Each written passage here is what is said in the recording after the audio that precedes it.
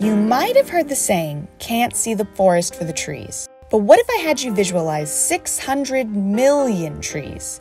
And what if I were to also tell you that those 600 million trees were destroyed every year to satisfy an addiction? We will explore this further in this episode of Tobacco, Tobacco Hackers. Welcome.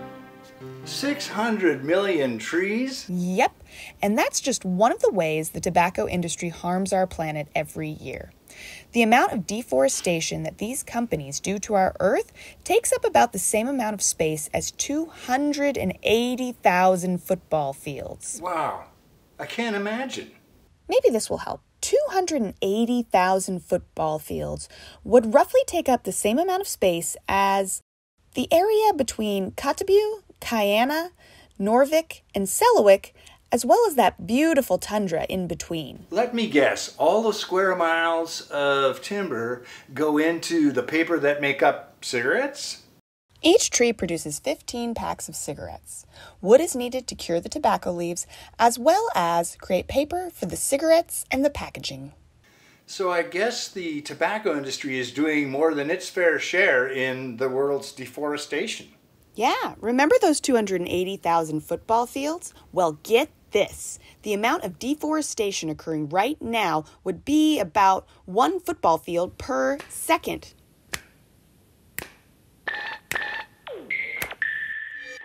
If tobacco industries didn't exist, it would substantially reduce the amount of trees we lose each year. If you look at the amount of deforestation that's occurred in the last 40 years alone, it would take up pretty much the same space as the continent of Europe. Now, if this continues, it's going to be bad news. We'll have lost all of our rainforests in 78 years. What are you looking at? I'm only 65. No, no, I wasn't thinking about how old you were. It's just that, you know, a baby born today probably won't see a rainforest by the time they're your age. And you know, rainforests aren't just found in South America. 80% of Southeast Alaska is a rainforest. Well, that's not a comforting thought. I can only imagine how much waste is generated by our industry to destroy so much timber. In 2017, I visited Ambler, Kivalina, Buckland, Selawik, and Noatak to help reduce pollution in local landfills. It was intriguing work and it made me think of waste on a larger scale. So I began doing research into global pollution. Is any of this research tied to tobacco? Yeah, actually, I have some crazy discoveries, and the environment suffers from both the producers and the users. And here's some food for thought.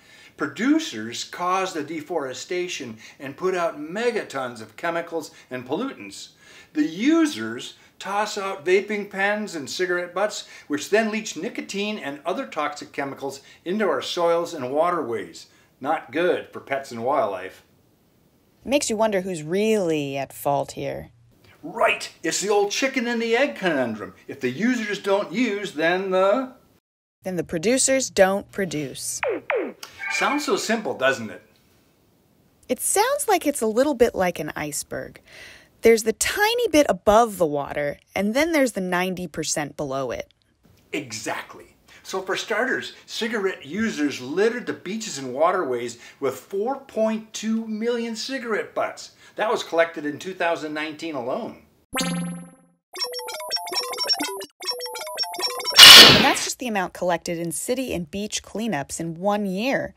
And these things don't break down as quickly as you might think. So, let's play a little guessing game. How long do you think it takes for a cigarette butt to break down? Five years? Ten months? Two days? Ten years? Oh, ding, ding, ding, we have a winner.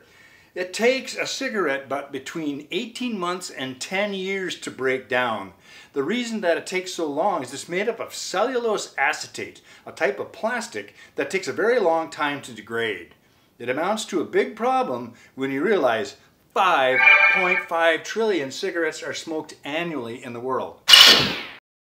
Yes, and by weight, cigarette butts add up to almost 1.7 billion pounds each year. To help visualize that, imagine that it would take 8,450 freight trains to carry that much weight. Wow.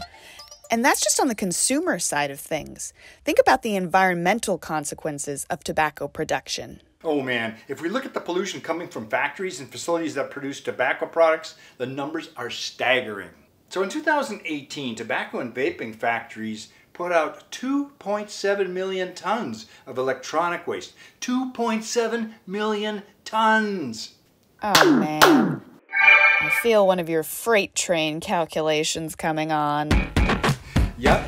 So the typical freight train consists of a mile in cars, train cars. They're 50 feet each. So imagine 266 trains stretched bumper to bumper from here in Kotzebue to Wainwright, and you get an idea about the electronic waste. And that includes toxic chemicals, right? That's right, nearly a million pounds of toxic waste were produced by tobacco and vaping facilities in 2019. Those are staggering numbers, but what does it all mean? How does that affect those of us living here, north of the Arctic Circle? It especially impacts people who live up in the Arctic Circle. You know, tobacco companies are a huge contributor to climate change, and as our polar ice sheets start to melt, the whole world gets warmer and our water levels rise. This causes flooding in coastal communities and limits the amount of food that polar bears can catch, causing them to come closer to villages. I heard there was a polar bear sighted at one of the fish camps outside of Kotzebue recently. There sure was. And I've been told it's pretty rare to see a polar bear around here, especially on dry land in the middle of August. Anyhow, we could go on forever about tobacco and the environment, but I think we're running out of time. How about we go ahead and ask the classroom a question? I agree. Here's one for you guys. What do you think would be the most effective way of putting an end to the pollution and deforestation caused by tobacco companies? Do you think it would be better to talk to the tobacco companies? Would it be better to make it illegal to create tobacco and vaping products altogether? Or would it be better to encourage your friends and family not to use these products? Also, what challenges do you think you'd find in any of these approaches?